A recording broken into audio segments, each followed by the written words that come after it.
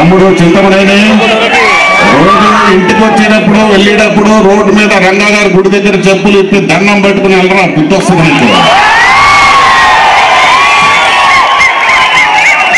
ప్రజారక్షణకై నేను వాడి మీద వీడి మీద చెయ్యి తీసుకుంటాను అది నా నైజమనే నీకు.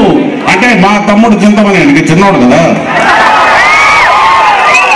నీ చేతి కింద నలిగిన నలుగుతున్న నలగబోయిన తాడిత పీడిత ఎస్సీ ఎస్టీ బీసీ మైనారిటీస్ ఎంతెంత మంది మీద చేయి చేసుకున్నావో వాళ్ళందరికీ అండగా వంద వీటి మోహనంగా గుడి మీద కట్టిస్తావు అక్కడ.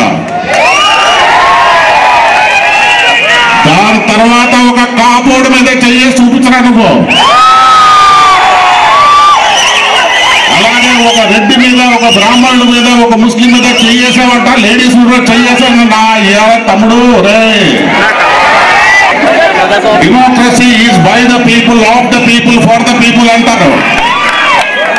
కానీ ఈసారి టూ థౌజండ్ నైన్టీన్ ఎలక్షన్స్ తర్వాత the governance will be done by the people of the people for the people తమ్ముడు చిన్నమైన సారీ ఆవులు గేదెలు పెంచుకునేది ఇంగ్లీష్ రాదు కదా.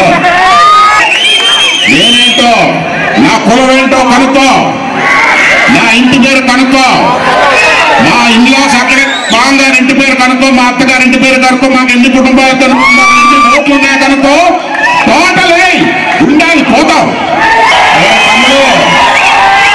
నువ్వు కన్నడ చేస్తే నీ పిఏ ఉడుకుతాడేమో.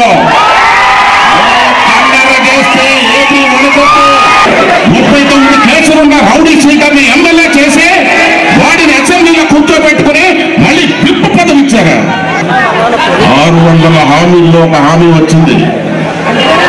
తమ్ముళ్ళు మీరెవరు రుణాలు కట్టద్దు. సంపూర్ణ రుణమాఫీ చేస్తాను అని గుడ్డిగా నమ్మిన గుడ్డి జనం ఓట్లేశారు. రుణమాఫీ జరగల ఆత్మహత్యలు జరిగాయి. పొలాలు పోయాయి ఆస్తులు పోయాయి. అలాంటి మాఫీ ఈ నమ్ముకుని జీవితాలు పోయిన రైతులు గుండెల్లోంచి రైతుల కోసం వచ్చింది ఈ జనసేన.